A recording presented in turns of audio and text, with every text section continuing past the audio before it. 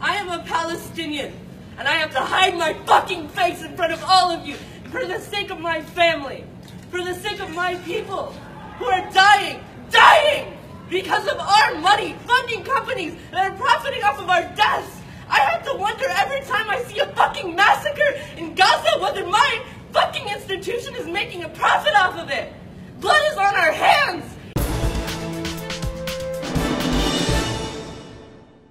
No, that was not a really cringeworthy drama monologue.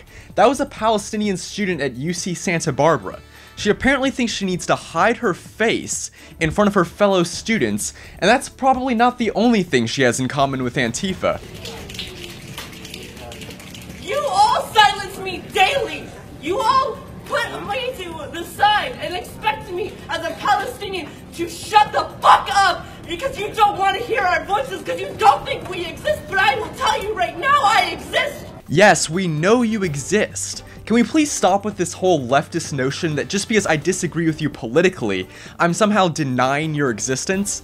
Those aren't the same things, but the left acts like they are because if you're denying someone's existence, that then means you can be punched, pepper sprayed, and even bike locked by people like former Professor Eric Clanton.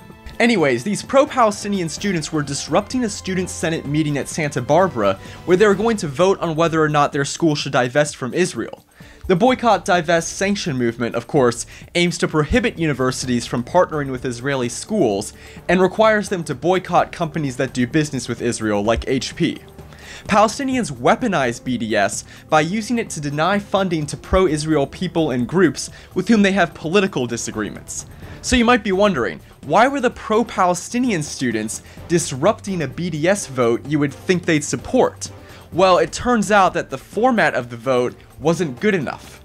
The proposal required two-thirds approval to pass, whereas some students wanted it to only require majority approval. So this happened.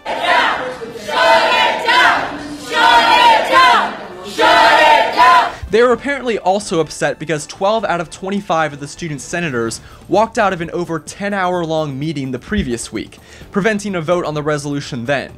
But here's the thing, even if the resolution did pass, which it didn't, it failed for the fifth time in six years, but even if it did pass, UC Santa Barbara isn't obliged to pull its money out of Israeli businesses. Students at the University of Michigan passed a divestment resolution last year, and the administration said, We appreciate hearing from students, but stated the university's long-standing policy is to shield the endowment from political pressures, and to base our investment decisions solely on financial factors such as risk and return.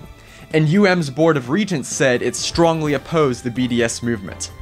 So anti-Israel activists, if you're going to waste your time trying to pass a resolution that might get shot down by the school anyway, at least don't take the opportunity to also, at the same time, become part of a video that makes you look so childish and intolerant to future employers.